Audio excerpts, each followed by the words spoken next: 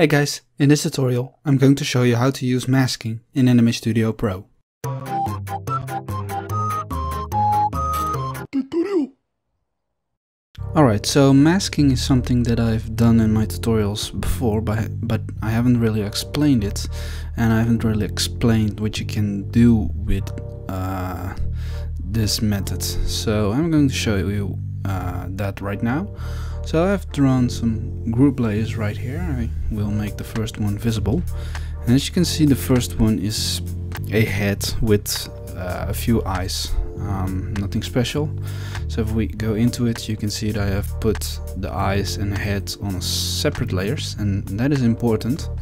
So what we do, um, we double click on it, and by the way, uh, this applies for a bone layer as well. So we double click on it and we click we go to masking and we click on hide all.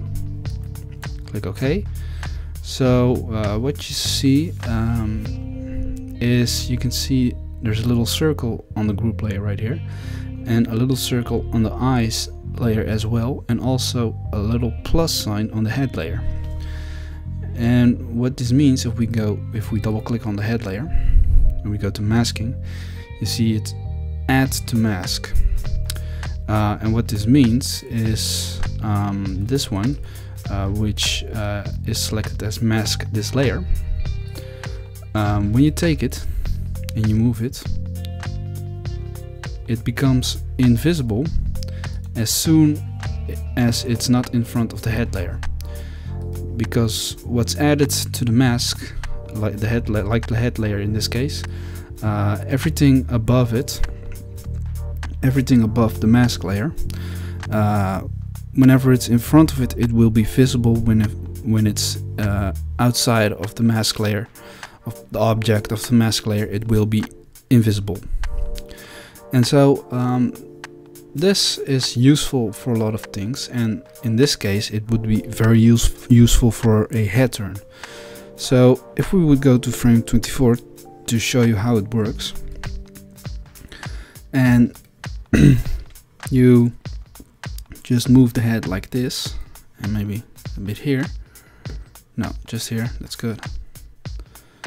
And then you put the eyes right here. You can see it already looks like a head turn. And to make it better because right now it looks like this but if you would double click on the group layer and you go to, oh sorry you have to go to the head layer and you go to masking and then you click on exclude strokes. Then the line will be in front of the eyes uh, all the time. So it makes it look a little bit better. So that's uh, one uh, thing where you can use it for and in fact I have a tutorial uh, made in the past where I go into detail about making a head turn like this. Um, but yeah, anyway, uh, another uh, method that you, uh, or another uh, thing that you can use it for is, if I would make this one invisible, is when I open the, make the other mask group layer visible, Uh, well, what we have drawn here is uh, a ball and something that would uh, is supposed to be a hole and then this uh, which I have called the mask layer.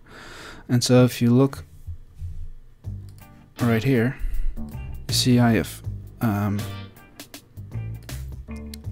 drawn it exactly like the hole right here the line of the hole right here. And that is important for this one so what we do, we uh, double click on this group layer again and we go to masking and we click on hide all again. So again the same thing happens and of course the lowest layer uh, has the plus sign which means uh, it's added to the mask and um, the hole and the ball layer are added, uh, they are masked um, but uh, we don't want the hole layer to be masked, so we go to masking and we click on don't mask this layer. and so uh, that way it's it will always be visible. But um, what we're also going to do we're going to double click on the mask layer. We go to masking and we click on add to mask but keep invisible. We click ok. So now you see it becomes invisible right here um, but still it's part of the mask so whenever the ball which is masked is going outside of the layer it will become invisible. And so what happens if you put it like this? It looks like the ball is going inside this hole.